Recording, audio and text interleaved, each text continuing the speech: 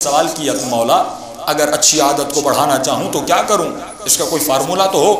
तो फरमाया, पहले कागज़ और कलम लो और अपनी बुरी आदतों को लिखो। यह हदीस आपने सुनी, अलमोमिन मिरतुलमोमिन मोमिन मोमिन का क्या है? आईना है।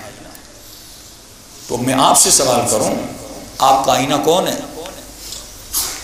जितना मजमा बैठा हुआ है एक एक बताए कि मौलाना, फला मेरा आईना है।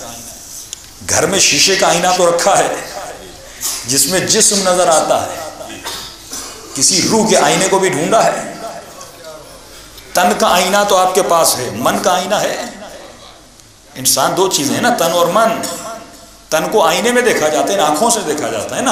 अब जो मन है आपका, जो आपकी रूह है, उसका आईना कहाँ है? यही मासूम फरमाते हैं, अलमोमिन मोमिन। मोमिन मोमिन का क्या है? आईना, एक आईना तलाश करो। एक ऐसा मोमिन जो अमीन हो, एक ऐसा मोमिन जो सच्चा हो, एक ऐसा मोमिन जो मुत्तकी उसे अपना आईना बना।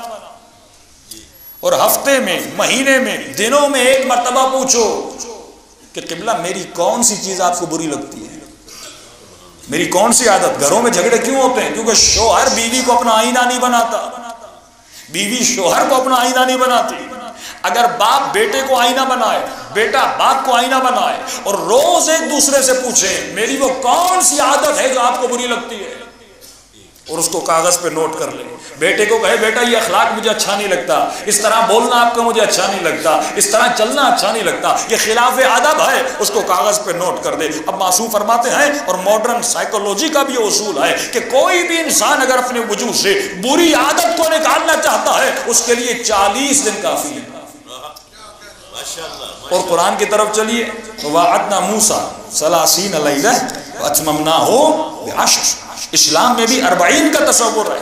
अगर कोई अच्छी आदत वजूद में डालनी है, उसका अरबई निकालो। अगर कोई बुरी आदत वजूद से निकालनी है, उसका अरबई निकालो। अभी मैंने दुआ पढ़ी अल्लाह आप सब मेरे साथ पढ़ रहे थे। आप में से किसी ने याद किया इस दुआ को? याद कैसे हो गई? सुन सुन के। बहुत कम लोग हैं जिन्होंने दुआ को बैठ के याद किया हो।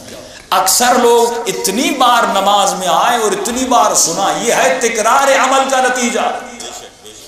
कि जितना तिकरार करते हो, वो खुद ब खुद आपको याद हो जाती है। आपके सबकॉन्शियस में चली जाती है। फरमाए, बिल्कुल इसी तरह। अगर आदत अच्छी वजूद में डालना चाहते हो, ये नहीं कि सिर्फ़ मजलिस में आए और इरादा किया, बाहर गए, फिर इरादा भूल गए। वो इरादा करो जो जबल रासिक हो, मज़बूत पहाड़ की तरह हो, कि चालीस दिन कार्रवाई निकालो। किसी भी आदत को वजूद में डालने के लिए और किसी भी आदत को निकालने के लिए। चालीस दिन काफ़ी होते हैं इंसान के लिए।